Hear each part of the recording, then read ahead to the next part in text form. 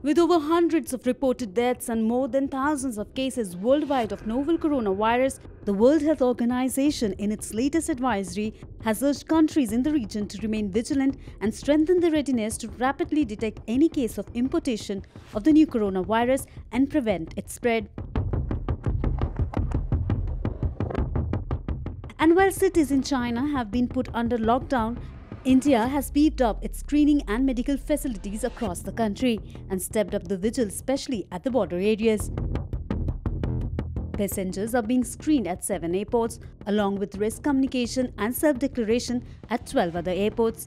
Government has also undertaken massive awareness drives across the country, informing about the disease, its symptoms, preventive measures and reporting. So what exactly is coronavirus and how to prevent oneself? According to the WHO, coronaviruses are a large family of viruses that range from the common cold to much more serious diseases. These diseases can infect both humans and animals. The strain spreading in China is related to two other coronaviruses, Middle East Respiratory Syndrome and Severe Acute Respiratory Syndrome. Symptoms of coronavirus infection range from respiratory problems, difficulties in breathing, fever and cough, to severe cases of pneumonia, kidney failure, acute respiratory syndrome. The elderly, young, and those with an already weakened immune system are more vulnerable to the disease. It is to note that the virus is contagious before symptoms appear. Though the mode of transmission is still unclear, there is little evidence of significant human to human transmission with an incubation period between 1 and 14 days. To protect against infection, WHO recommends preventive measures such as washing your hands with soap, covering mouth when sneezing or coughing, staying hydrated, avoiding contact with anyone who's sick, sanitizing surfaces, and eating thoroughly cooked non-vegetarian meal.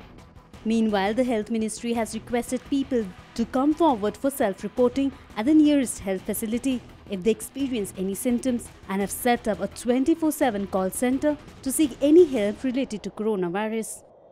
आप अगर हमें helpline number पर inform करेंगे तो हम आपका telephone number लेके अपने सर्वेलेंस ऑफिसर्स की मदद से आपका चेकअप इत्यादि कराने के लिए आपको सही गाइडेंस देंगे, सही स्थान पर आपको भेजने के लिए। यानी कि you please help us so that we can help you इस सोच के साथ हम लोग काम कर रहे हैं।